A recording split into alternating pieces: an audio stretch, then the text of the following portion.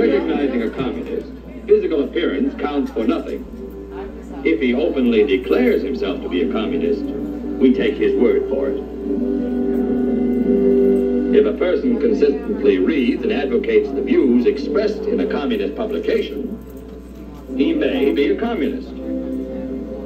If a person supports organizations which reflect communist teachings, or organizations labeled communist by the Department of Justice, she may be a communist. If a person defends the activities of communist nations while consistently attacking the domestic and foreign policy of the United States, she may be a communist. If a person does all these things over a period of time, he must be a communist. But there are other communists who don't show their real faces, who work more silently.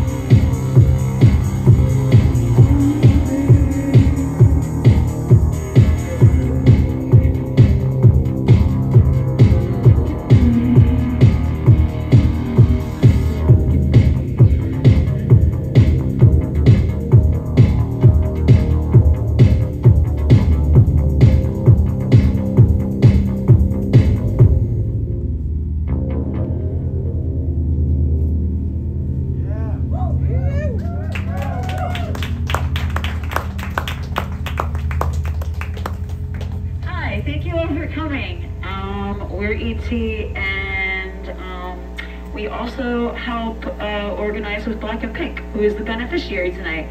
So if you haven't already donated, please see Molly and donate over there. Uh, Black and Pink is an organization that uh, helps queer and trans and HIV positive folks who are incarcerated uh, with support on the outside. So please give. And if you don't have anything to give, that's fine. We also have some beautiful postcards and stickers and things um, that you can send to folks on the inside for support as well.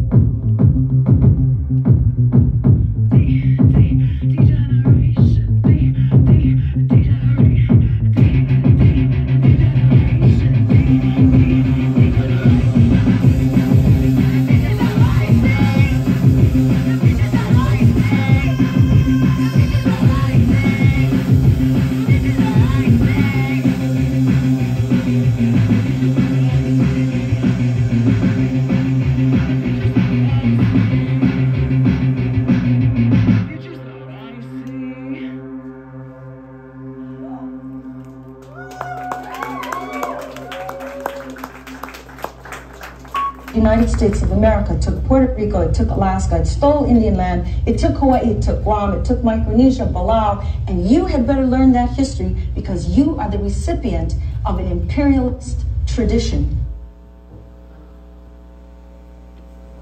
Oh dear, now I suppose I shall have to use force.